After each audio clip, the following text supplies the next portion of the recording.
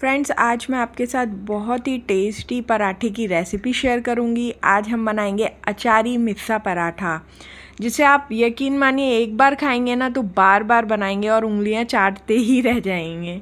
और साथ ही में जो इसके अंदर स्टफिंग होगी, उसको आप आराम से तीन से चार दिन तक स्टोर करके भी रख सकते हैं। तो अगर आपको बहुत सारे लोगों के लिए पराठा बनाना है तो आप इसे पहले से भी बनाकर रख सकते हैं। यहाँ पर देखिए, हमने बेसन लिया है। लगभग चार चम्मच बेसन है। इसको मैंने अच्छे से भून लिया है। आप अपने क्वांटिटी के अकॉर्डिंग इसे एडजस्ट कर लें। और बिल्कुल लो फ्लेम पर ही हमें इसे भूनना है।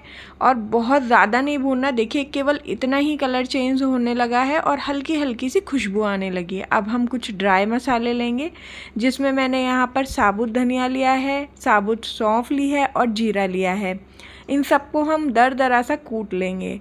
आप अगर फ्रेश मसालों को कूटेंगे तो ज़्यादा बेटर रहेगा। अगर आपके पास नहीं है साबुत तो आप पाउडर भी यूज़ कर सकते हैं। बट इसमें जो साबुत मसाले हैं, उसका टेस्ट बहुत अच्छा आता है। अब हमने एक पैन लिया है, उसमें मैंने एक से डेढ़ चम्मच घी डाला है और उसमें लगभग एक चम्मच ही मैंने ऑयल डाला है। ऑयल आपको सरसों का तेल ही डालना है। अगर आपके पास नहीं हो तो आप कोई और कुकिंग ऑयल डाल सकते हैं। यहाँ पर मैंने उसमें थोड़ी सी कलौंजी डाली है, हींग डाली है और साथ में जो हमने ड्राई मसाला पीसा था उसको मिक्स कर लिया है। उसके बाद हम यहाँ पर बेसन को मिक्स कर लेंगे और इन सबको आपस में बहुत अच्छे से इस तरीके से प्रेस करते हुए मिला लेंगे, जिससे मसाले आपस में अच्छे से मिल जाएँ। अब मैं यहाँ पर आधा चम्मच नमक डालूँगी, आधा चम्मच अमचूर पाउडर डालूँगी और थोड़ी सी यहाँ पर कसूरी मेथी डाली है। अगर आपके पास कसूरी मेथी नहीं हो, फ्रेश धनिया हो तो आप वो भी डाल सकते हैं, लेकिन अगर आप स्टोर करके रखना चाहते हैं तो आप फ्रेश धनिया नहीं डालें, सूखी हुई कसूरी मेथी ही डालें। अब यहाँ पर देखिए, हमने नॉर्मल आटा लिया है, उसकी लोई बनाई है। लोई बनाकर इसमें अच्छे से देखिए, दो चम्मच के आसपास स्टफिंग भर दी है और उसे अच्छे से सील पैक कर देंगे। अब यहाँ पर कई लोगों की शिकायत होती है कि हम स्टफ्ड पराठे बनाते हैं तो हमारा मसाला बाहर निकल आता है। तो देखिए, आपको उसमें क्या करना है? आप किसी भी तरीके के पराठे बनाए ना तो पहले इस तरीके से फिंगर से उसे चारों तरफ़ से अच्छे से प्रेस कर लें और फिर इस तरीके से रख के दोनों तरफ़ से प्रेस कर लें। यकीन मानिए, आप प्याज के, आलू के या किसी के भी पराठे बनाएँगे ना, बिल्कुल भी आपके पराठे फटेंगे नहीं और बिल्कुल भी मसाला बाहर नहीं आएगा। आप देखिए इस तरीके से तवे पर आप इसे उलट पुलट कर अच्छे से सेक लें। पहले आप बिना घी लगाए दोनों तरफ़ से एक अच्छे से पचा लें। देखिए कितने अच्छे से फूल रहा है ना।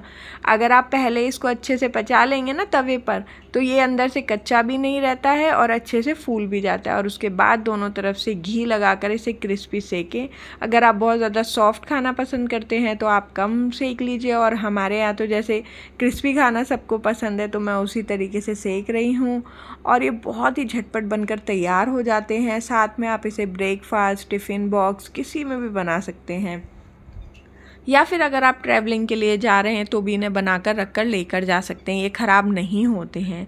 यहाँ अगर आपको मेरी वीडियोस अच्छी लगी है तो प्लीज़ एक लाइक ज़रूर से कीजिए। देखिए कितने अच्छे से ये पूरे में फैला हुआ है ना मसाला। और ये बहुत ही यम्मी लगते हैं दही के साथ या अचार के साथ। आपको जिससे भी अच्छे लगें, आप एन्जॉय करें और एक बार ज़रूर से बनाएँ। और हाँ अगर आप पहली बार मेरी वीडियो को वॉच कर रहे हैं तो मेरे चैनल को ज़रूर से सब्सक्राइब करें। और साथ में पास में में दिख रहे बेल आइकन को प्रेस करके उस पर ऑल पर टिक करें। तो बाय बाय मिलते हैं अपनी और नई वीडियो के साथ।